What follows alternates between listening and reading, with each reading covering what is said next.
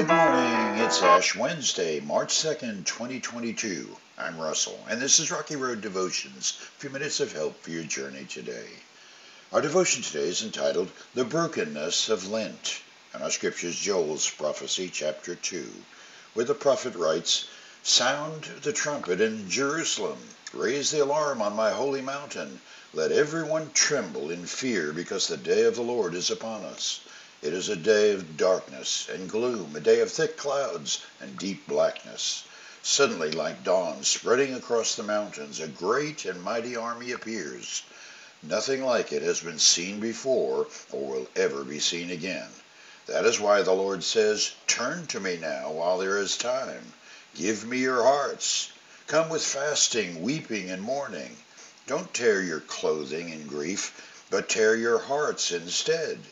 Return to the Lord your God, for he is merciful and compassionate, slow to get angry, and filled with unfailing love. He is eager to relent and not punish. Who knows, perhaps he will give you a reprieve, sending you a blessing instead of this curse. Perhaps you will be able to offer grain and wine to the Lord your God as before. Blow the ram's horn in Jerusalem Announce a time of fasting. Call the people together for a solemn meeting. Gather all the people, the elders, the children, and even the babies. Call the bridegroom from his quarters and the bride from her private room. Let the priests who minister in the Lord's presence stand and weep between the entry room to the temple and the altar. Let them pray. Spare your people, Lord. Don't let your special possession become an object of mockery. Don't let them become a joke for unbelieving foreigners who say, Has the God of Israel left them?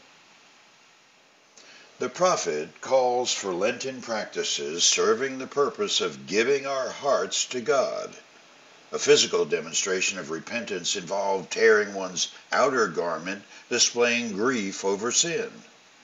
Joel pleads instead to open the hardened walls of our hearts to show God we mean to have our lives opened to His way. I've always had an uneasy relationship with this season and the all too common question, what shall I give up for Lent? It seems so trivial. Give up chocolate, if you can actually do that, and God is pleased. Eat fish instead of red meat, and you're a spiritual giant. Somehow the superficiality of that crumbles in both spirit and practice.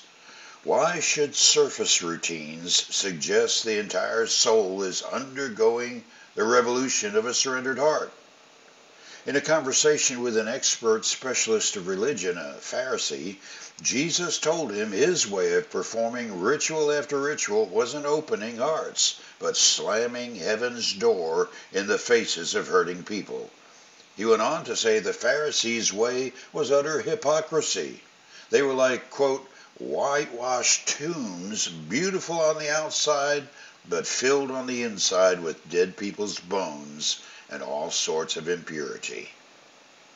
By contrast, Joel shows us what it looks like in work clothes to be genuine children of God. He says, Turn, fast, weep, mourn over sins, sound the alarm, spread the news, gather the people, pray, and trust God.